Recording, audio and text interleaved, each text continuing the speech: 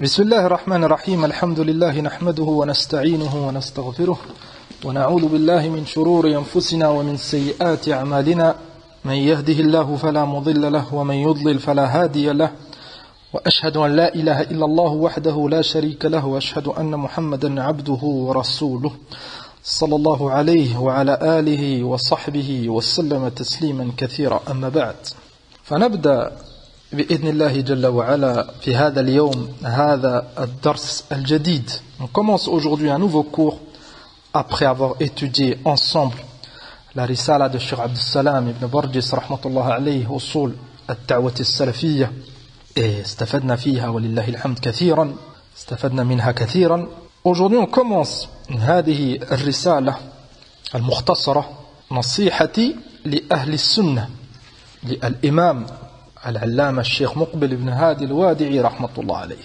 إمام في السنة إمام من أئمة هذا العصر رحمة الله عليه. Il a écrit cette nasiha pour ses frères أهل السنة والمسلمون. Ils ont besoin de التناصح فيما بينهم. النبي صلى الله عليه وسلم قال الدين النصيحة. الشيخ مقبل il a هذا الحديث qu'on lira ensemble إن شاء الله فالنبي صلى الله عليه وسلم appelé الدين نصيحة. الدين c'est النصيحة وهذا الإمام رحمة الله عليه il était ناصح للأمة ولإخوانه أهل السنة ولطلابه رحمة الله عليه. Cette رسالة مختصرة et elle traite un sujet spécifique وهو الاختلاف أي la divergence. فهو يكونسي رحمة الله عليه avec des فوائد نفيسة pour que Ahl Sunnah s'écarte du khilaf. Le khilaf c'est du shar. Le khilaf c'est min al-shaytan. الواجب علينا جميعا c'est d'être unis on adore le même Rabb Allah Jalla wa ala on suit le même prophète notre prophète Mohammed sallallahu alayhi wa sallam on a le même kitab al-Qur'an on a les mêmes savants ولله الحمد علماء السنة أئمة الإسلام لكن الشيطان il fait tout et il fera tout إلى أن يشاء الله سبحانه وتعالى pour diviser الأمة pour diviser أهل السنة خاصة. Pourquoi لأن الشيطان وجنود الشيطان ils savent très bien أن الحق il est مع أهل السنة والجماعة مع السلفيين. Ils savent très bien هذا. الشيطان et ceux qui le suivent. Et ils savent très bien كذلك أن الاجتماع فيه قوة وأن الخلاف والتنازع فيه ضعف. قال عز وجل ولا تنازعوا فتفشلوا ولا تنازعوا فتفشلوا وتذهب ريحكم أي قوتكم. فالقوة l'affaiblissement ça vient par quoi? Par la division. فلهذا الكفرة ils ont un مبدأ خطير qui est معروف عند الجميع. أي diviser pour mieux régner ils sont على هذا المبدأ أن هذه الأمة لو اجتمعت si cette أمة elle serait réunie sur un même manhaj autour du Coran et de la Sunna en obéissant au gouverneur في طاعة الله en revenant aux savants ça serait ولله الحمد une أمة قوية جدا plus que que notre état الآن لأن الآن on vit une période de fitna beaucoup de divisions, beaucoup de char. Et shaitan ou junud al-shaitan, ils en profitent. Cheikh Muqbil, alayhi, à son époque déjà, il y avait de la division. Il a conseillé ses élèves et il a conseillé Umum, Ahl Sunnah, avec cette nasiha jamila. والسني دائما دائما s'il veut réussir بإذن الله جل وعلا il revient à Ahl al-Ilm, comme on a cité dans les fondements. بل شيخ عبد السلام رحمة الله عليه ذكره في الأصول أي الرجوع إلى علماء الأمة فهذا الخلاف الآن الحاصل من أسبابه البعد عن علماء السنة لأن البعض ils font des choses ils prennent des initiatives des choses personnelles et ils ne reviennent pas au savant de la sunna et ils divisent tout le monde لأن الجاهل même s'il veut rassembler ربما بسبب جهله à cause de son ignorance, il peut faire une chose, dire une chose, il pense que c'est un bien, ça divise tout le monde. Kadalik, ce qui divise, ce qui divise beaucoup les frères, c'est quand tout le monde parle. Quand tout le monde veut trancher, quand tout le monde veut donner son avis, ça divise. Kathratul aqwal, ça divise. Tashattut, tamazzuq. On ne sait plus il est où le haq. On est à une époque, vu que beaucoup de monde y parle, quand euh, sur le sujet du din aqsud, avec tous ces réseaux sociaux, avec internet, il a la parole du savant, tu ne l'entends plus. Ou elle est moins propagée que la parole des juhal. revenir à Ahlul Ilm, c'est muhim. Ils ont des nasaih jamila. La solution pour s'écarter du khilaf, elle est claire. Elle est citée dans le Coran, elle est citée dans le Sunnah. Les ils ont conseillé. Lakin, on doit faire attention à ne pas vouloir défendre son nafs à tout prix, billah. Enfin, le but de tout le monde, ça doit être de vouloir se rassembler à l'al-haq. Et là, chacun a la divergence. C'est là. Et il y aura toujours de la divergence dans certaines masail. en on n'a pas la même compréhension. On n'a pas le même niveau fil on n'a pas le même idrak, on n'a pas le même... Euh, beaucoup de choses qui divergent. al-bashar, ils ont été créés. Lakin, notre objectif, ça doit être de vouloir se rassembler. Et s'il y a une divergence, on doit savoir comment se comporter. Amma divergence fil aqida walillahi on ne doit pas avoir de divergence fil aqida. L'aqida, c'est des choses, les savants, ils sont unanimes sur ces sujets. Walillahi alhamd. وهكذا في المنهج سلوك هذا المنهج النبوي les choses elles sont claires on peut diverger dans certaines masail de fiqh Lakin, cette divergence, ça ne doit pas nous diviser. Et Cheikh Muqbil alayhi va appuyer sur ce point et va conseiller ses frères. Et nous, on a choisi de lire ensemble cette euh, risala, on en a besoin. Tous, on n'est pas à l'abri. Et on doit faire des efforts pour s'unir à l'haq, à la sawab, et bien sûr s'unir à la kitabillah autour du Coran et de la sunna. كما قال جل وعلا واعتصموا بحبل الله جميعا ولا تفرقوا. قال الشيخ مقبل رحمة الله عليه نصيحتي لأهل السنة قال البخاري رحمه الله تعالى حدثنا يعقوب ابن إبراهيم قال حدثنا هشيم قال أخبرنا سيار عن الشعبي عن جرير بن عبد الله رضي الله تعالى عنه قال بايعت النبي صلى الله عليه وسلم على السمع والطاعة فلقنني فيما استطعت والنصح لكل مسلم. جرير رضي الله عنه صحابي جليل. إلى في البيعة. بايعت النبي صلى الله عليه وسلم قال. أي a prêté allégeance au prophète sallallahu alayhi wa sallam على ماذا؟ على السمع والطاعة.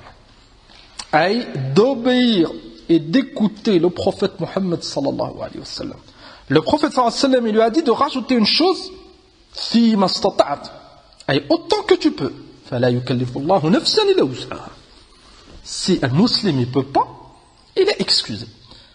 وزاد النبي صلى الله عليه وسلم والنصح لكل مسلم il a prêté allégeance de obéir et d'écouter le prophète sallam le prophète sallam il lui a rajouté kadalik de conseiller chaque musulman ça ça nous montre l'importance de nasiha فلهذا الشيخ مقبل رحمة الله عليه إلى كومونسي ست رسالة par ce hadith.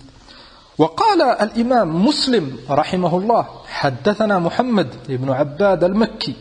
قال حدثنا سفيان قال قلت لسهيل إن عمرا حدثنا عن القعقاع عن أبيه قال عن أبيه عن أبيك. نعم إن عمرا حدثنا عن القعقاع عن أبيك قال. كأنه عن أبيه ينظر.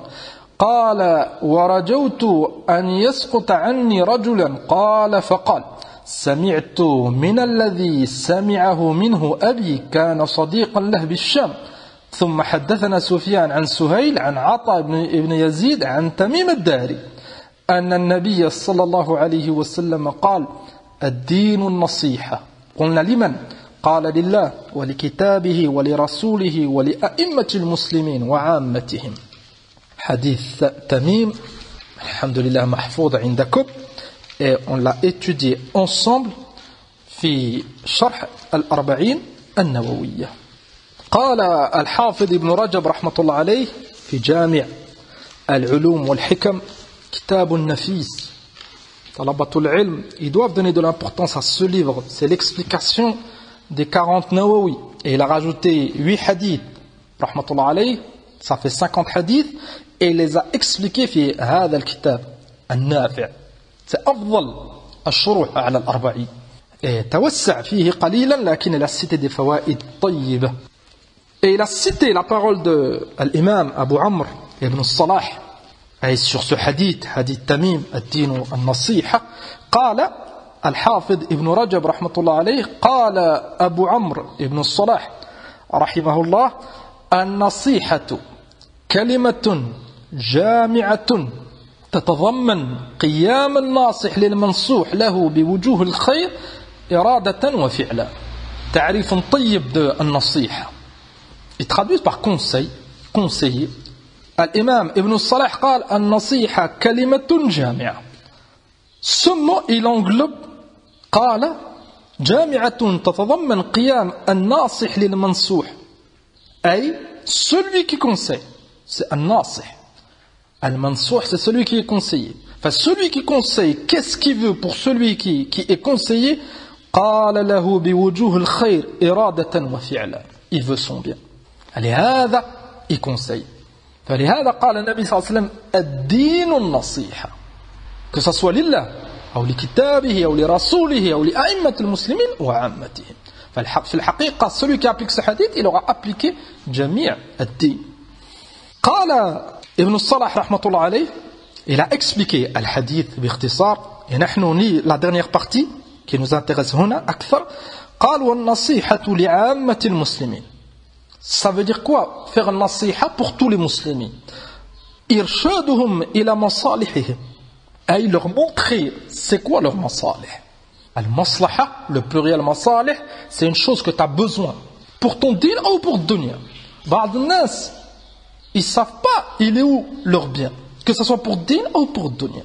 Ba'd nas, ils font des choses pour se rapprocher d'Allah et ils se font du mal.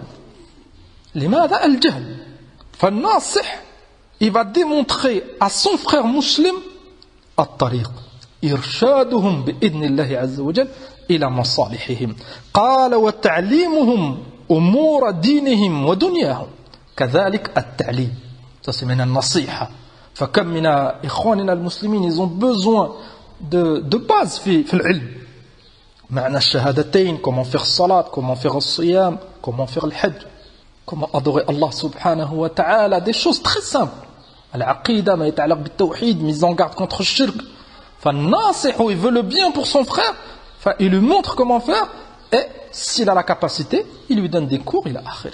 قال وسد خلاتهم ونصرتهم على أعدائهم.